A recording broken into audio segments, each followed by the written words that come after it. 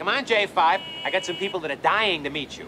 Frederick, I have an important question. Why do humans not like me? Call me Craphead. They like you. They like you. Craphead is a compliment. Oh.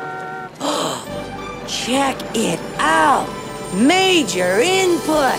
Frederick, wait here. I'll be right back after these words. Input, input, input. Woo! Woo!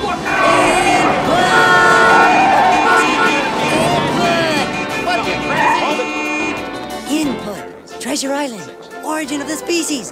Everything you always wanted to know about sex. Five. Ah, more. Fabulous. That was good. Oh, I like that one. That one too. Boring. Eh, the movie was better. These two are wonderful. Five? What are you doing? You're gonna get us busted here. Frederick, I must read these two books very carefully. two excellent books. May I have these, Craphead? Five? Come on, we gotta go. But Fred, Do you need- see those two guys down there? Uh-huh. They want to take your books away. nice going, Ace.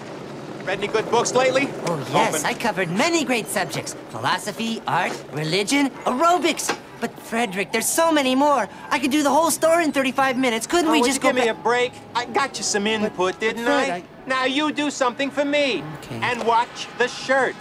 Silk. Yeah, damn right.